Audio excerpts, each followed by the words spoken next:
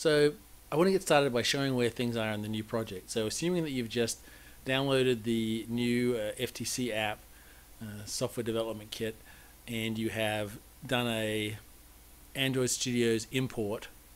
So you've imported the folder so that everything's set up and you've given the uh, Android Studios plenty of time to load all its pieces and run all its Gradles and do all that sort of stuff. So at the bottom of the screen here, nothing's happening. In my case, it finished at 7, you know, 16 minutes ago, so I've been sitting here.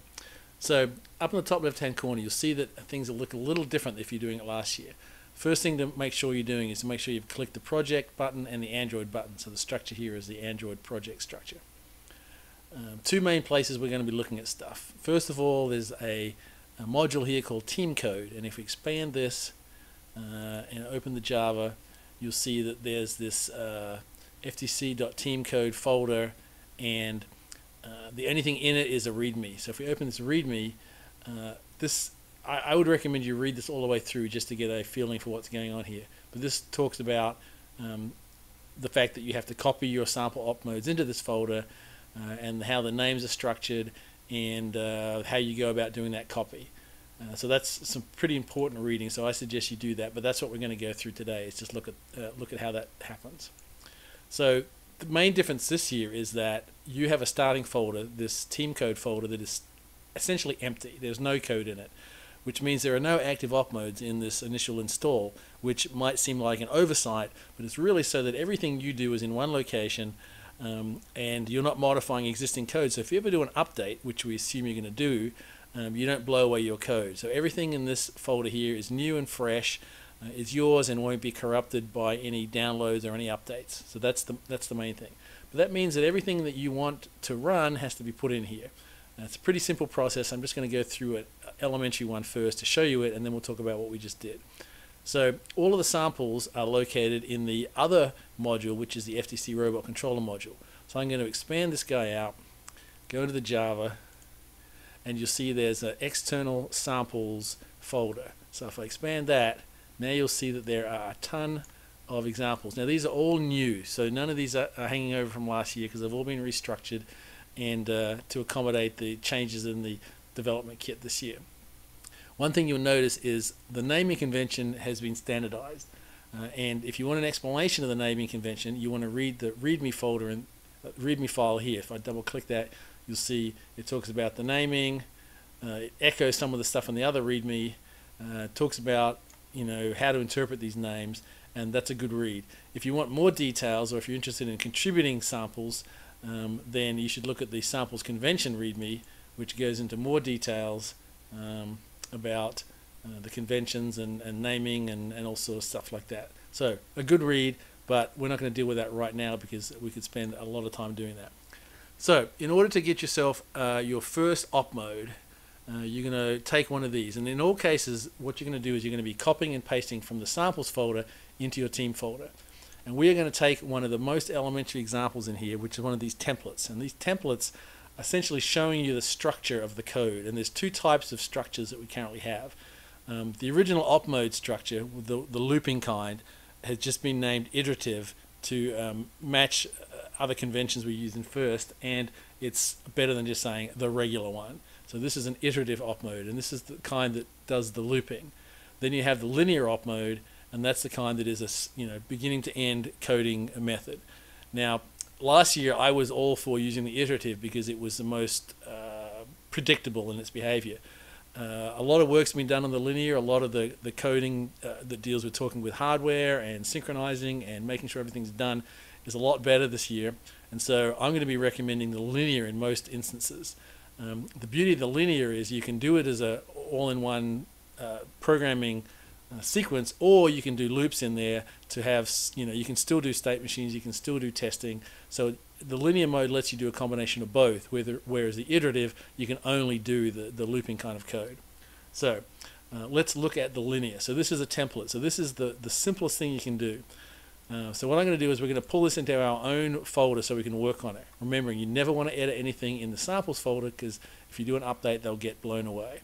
So uh, to do this, I'm going to uh, right-click on the uh, op mode that I want to copy and click Copy. I'm going to go down here and right uh, and right click on where I want to put it, which is the team code folder, and paste. Now it's going to ask you for a new name. So each one of these op modes is a class, a Java class, and it has a name that follows the, the, the, the convention of starting with the capital letter. And what you want to do is give it a name that is meaningful to you. Um, the name in the examples is basically telling you what it's doing, uh, whereas what you want to turn it into could be something completely different. So in this case, I'm going to take the template op mode linear, and I can rename it to be uh, my first op mode and say OK. And then what will happen here, it's going to make a copy of it in our team code and it's going to rename the class so it um, belongs in here. So having done that, let's look, take a quick look at the program. So here it's opened up my first op mode. I'm going to um, close out these other readmes just so they don't clutter up my, my tab bar up there. So if we have a look in here, every one of these samples has got a header block in the beginning. I recommend you read through the header block because it'll tell you what the example does, It'll tell you how to use it, it'll tell you any requirements, uh, and it will remind you that you need to copy it from the sample folder into the team code folder. Um, so last year, if you're doing the, the, FTC last year, you remember that in order to get a um, op mode to show up on the driver station list, you had to go to another section of the code and manually register it. Well, that you can still do that, but uh, this year the registration process has been distributed among the op modes themselves, which means that each op mode is its own specification of whether it should go on the op mode list for the driver station. And that's done using the first two lines. Uh, these words in yellow here, uh, these are annotations. That's a word you'll start hearing more about this year. And annotations are attributes that get attached to the class. In this case, our class is my first op mode, and we have two annotations. The first one specifies what kind of op mode it is, and your choices are teleop, or autonomous. Uh, and then you can give it a name, and then you can give it a grouping. And the, the name is what appears on the op mode list, and the grouping is a way for them to get sorted in a particular order if you if you want to. So I'm going to change this name here. This name can be anything really. It's just what shows up. So I'm going to you know I'm going to say my op mode and my group. I'm going to set that to to Phil because I want my op modes to be separate from ones that anyone else writes. At this point, you're almost ready to go, except it still doesn't know that this op mode should be added to the main list. In order to do that, we have to either delete or comment out this disabled line here. So this is saying, here's my op mode's name, here's where I want it to be sorted and grouped. I want to enable this, which means put it on the list, and then here's my op mode itself. And this is a very simple linear op mode. Uh, it starts by declaring the elapsed time variable, uh, there's only one method, which is the run op mode method.